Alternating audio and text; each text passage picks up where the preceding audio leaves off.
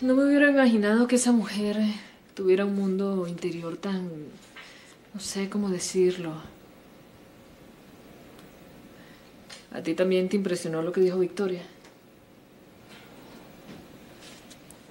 José Ignacio. Perdón, es que estaba distraído. Sí, ya me di cuenta.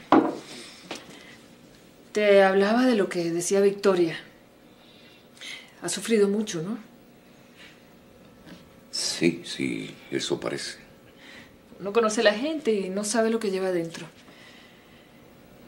Victoria parece una mujer extraña, compleja. Sí. Pero dio en el punto preciso. No entiendo a qué te refieres. Al amor, a lo que puede sentir una mujer, a los sentimientos. Y eso tiene que ver mucho con, con nosotros. Carla, lo de nosotros. No, no digas nada, por favor. No la digas. Es que tú no sabes lo que ha sido estar tan lejos de la casa, de ti.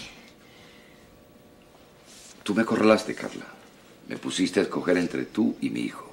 Bueno, es que yo a veces exploto y digo cosas Dices que... lo que sientes. Sí, pero, pero yo sé que yo tengo que aprender a, a negociar, a, a ser flexible. ¿Para qué, Carla? ¿Tú crees que vale la pena? Sí. Dame una oportunidad. No es cuestión de oportunidades, Carla. Bueno, si quieres, no lo hablamos ahora, pero... Pero por favor, no, no me pidas que me vaya. José Ignacio, yo... Yo puedo quedarme... Quedarme aquí contigo.